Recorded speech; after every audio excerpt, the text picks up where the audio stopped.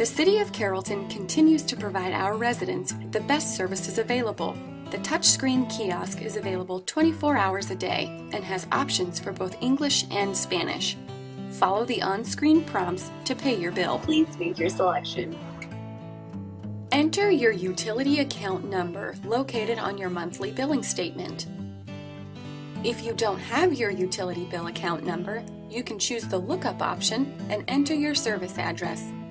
Confirm the information on the screen is correct. Entering a phone number is optional. Please make your selection. Your account balance will appear and you can choose what amount you wish to pay. Payment options include cash, check, and credit card. Keep in mind, you can also make payments over the phone, in person at City Hall, via mail, online through our payment portal, via bank draft, and at any Fidelity Express location.